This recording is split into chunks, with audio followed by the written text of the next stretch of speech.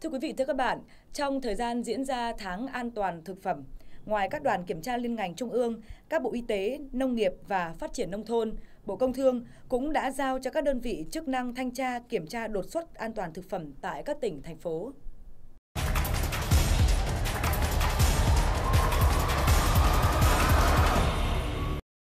Tại hai cơ sở kinh doanh thực phẩm là cơ sở sản xuất giò chả Hậu Trang do ông Nguyễn Như Hậu làm chủ và công ty trách nhiệm hữu hạn EB Vinh, siêu thị Bixi Vinh, thành phố Vinh. Qua kiểm tra, đoàn kiểm tra liên ngành trung ương số 3 phát hiện tại cơ sở sản xuất giò Hậu Trang, chủ cơ sở là ông Nguyễn Như Hậu thiếu giấy chứng nhận sức khỏe,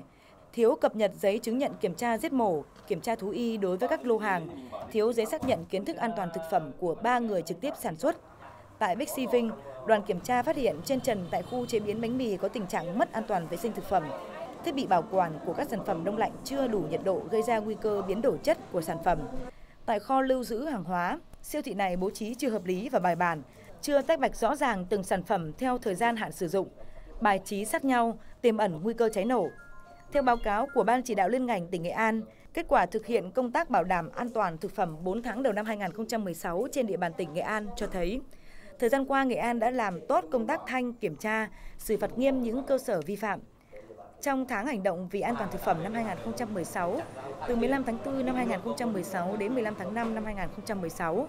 đoàn liên ngành tuyến tỉnh đã thanh tra kiểm tra 10 cơ sở sản xuất kinh doanh chế biến thực phẩm, trong đó phạt lỗi 5 cơ sở với tổng tiền phạt là 45 triệu 450 ngàn đồng. Đoàn chuyên ngành y tế tiến hành thanh kiểm tra 10 cơ sở, phạt một cơ sở với số tiền vi phạm là 1 triệu 500 ngàn đồng.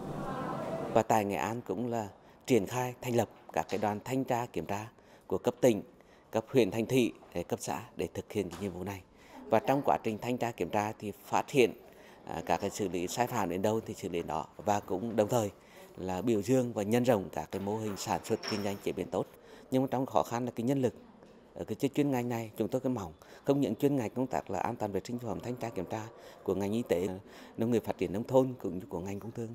cái thứ hai kinh phí cho tổ chức hoạt động thì cái kinh phí của như Nghệ An thì một cái tỉnh cũng đang còn khó khăn. Tại buổi làm việc với Ban chỉ đạo liên ngành vệ sinh an toàn thực phẩm tỉnh Thanh Hóa, đoàn kiểm tra liên ngành trung ương số 3 cũng đánh giá cao công tác tuyên truyền về an toàn thực phẩm của tỉnh. Ý thức về an toàn thực phẩm của các cơ sở được nâng lên, cơ sở vật chất của các đơn vị được cải thiện rất nhiều, đặc biệt là trong chế biến.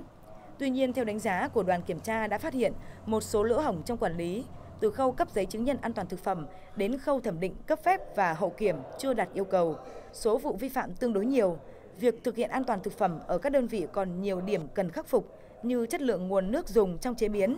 sơ chế thực phẩm, việc kiểm định thiết bị lạnh hay hệ thống chiếu sáng, việc sử dụng các dụng cụ bảo đảm vệ sinh, việc ghi chép, truy xuất nguồn gốc thực phẩm. À, qua cái kết quả của đoàn kiểm tra cũng để chỉ ra được những cái mặt còn yếu kém của các cái cơ quan quản lý nhà nước ở địa phương trong cái công tác quản lý nhà nước về vấn đề vệ sinh an toàn thực phẩm. Chính vì vậy, à, Ủy ban nhân dân tỉnh Thanh Hóa cũng đã chỉ đạo cho các cái sở ngành là tăng cường cái công tác thanh tra, kiểm tra, giám sát cũng như là nâng cao cái hoạt động uh, chuyên môn của các cái cán bộ công chức trong cái vấn đề thực thi công vụ để từ đó làm tốt hơn cho cái công tác tham mưu cho Ủy ban nhân tỉnh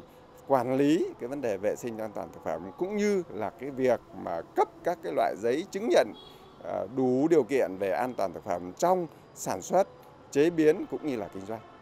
Trước kia đánh giá là cái vi phạm tập trung chủ yếu ở các nhà sản xuất kinh doanh. Còn cái mảng quản lý chúng ta chưa được cập đến nhiều. Thì đợt này tập trung chủ yếu phát hiện những cái sai lầm, sai lỗi những lỗi mà thuộc về trách nhiệm của quản lý nhà nước. Thì chúng tôi đã đã phát hiện số lỗi đó. Thì thì thông qua đó thì cái phần lỗi là thuộc về quản lý, thì quản lý phải phải điều chỉnh. Lỗi là thuộc về các cơ, đơn vị cơ sản xuất thì sẽ phải có cái xử lý. Ví dụ như là hôm nay thì đi kiểm tra thế là những uh, nguyên tắc thì theo phân công của trung ương thì đoàn sẽ phát hiện những cái sai phạm và sẽ chuyển tất cả các biên bản đó để giao cho ban chỉ đạo địa phương tỉnh để họ sẽ kiểm tra và họ sẽ ờ, tổ chức là xử lý vi phạm theo quy định hiện hành và sau sẽ có báo cáo với kết quả xử lý về trên ban chỉ đạo trung ương theo quy định của trung ương.